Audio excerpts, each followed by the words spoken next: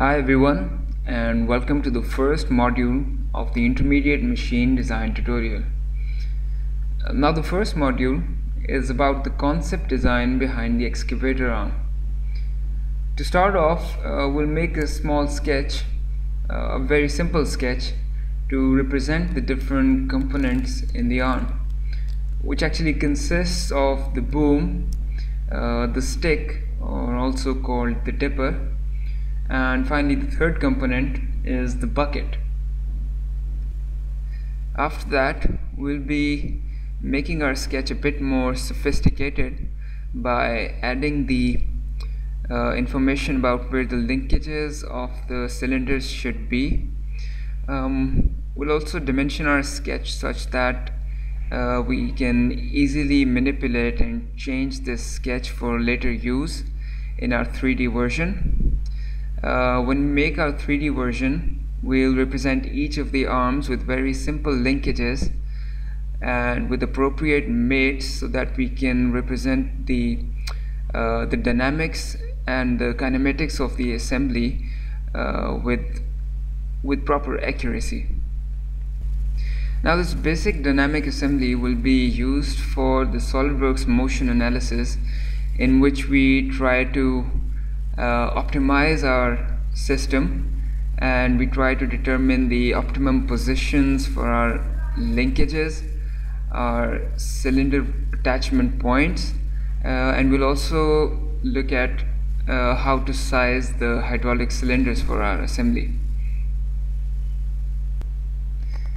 and then finally when we've determined the complete geometry of our arm and we've also managed to select the hydraulic cylinders that we're going to use.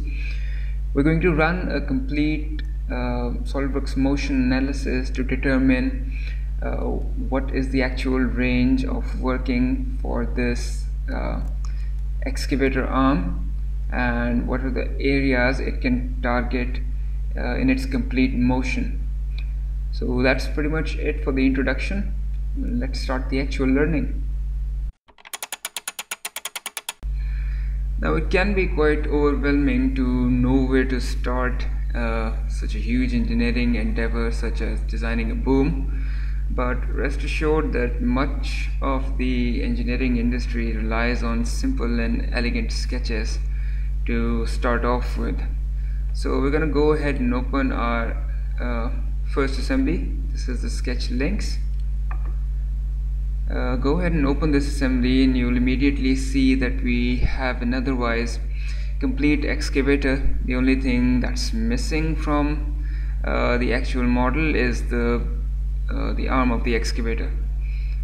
So uh, we've already put a sketch in place for what our uh, arm should look like and what it could possibly look like. Uh, now what things do you have to take into consideration when uh, making this sketch. Uh, let's have a look at this sketch in more detail. Now when you open this sketch you'll see that we've only mentioned a few dimensions in this sketch. Uh, mainly these represent the uh, the actual lengths of the linkages that we'll have for each of the boom, the stick and the bucket.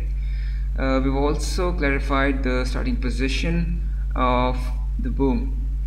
Uh, now let's discuss the starting position of the boom in more detail. Generally what will happen is that your chassis designers will specify this point for you. Since they're responsible for uh, the placement of much of the components as in the spatial arrangement of uh, the whole excavator uh, they will have certain limits to where you can start and uh, end your boom at. You can see that we have some points here. Uh, one of them is for the for the starting point or the pin of the boom where it hinges on to the chassis.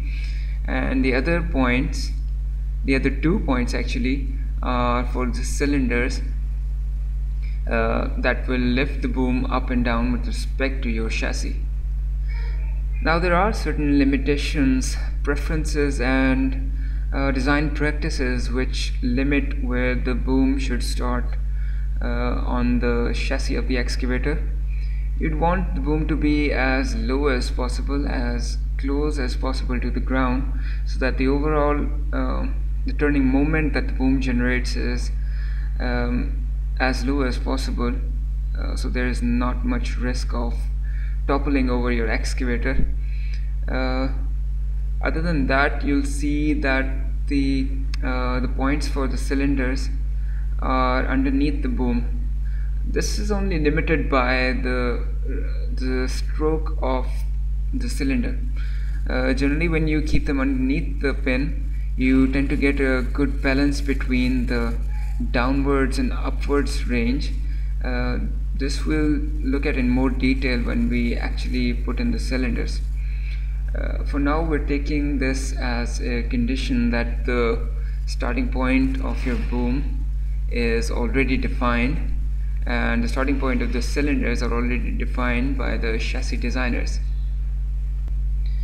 As for the factors affecting the overall length, uh, the first factor to consider is the overall range or the reach.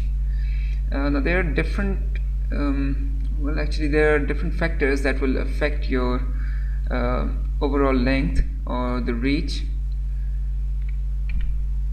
uh, mostly what happens is that there are different uh, lengths of there are different total lengths of arms for different applications and these may vary from company to company um, most of the time you will need to uh, survey your customers uh, to determine which boom length was mostly helpful. But generally there will be two types of booms. One uh, which are quite long and may not do all that heavy lifting but their range and their reach makes them useful. The others are the general purpose arms. Uh, these arms will do the heavy lifting for you as well as uh, carry most of the load. Uh, at this point we'll set a soft goal for what the overall length of our arm should be. Let's say um, customer requires or that the company decides that the horizontal reach of the arm should be around 11 meters right?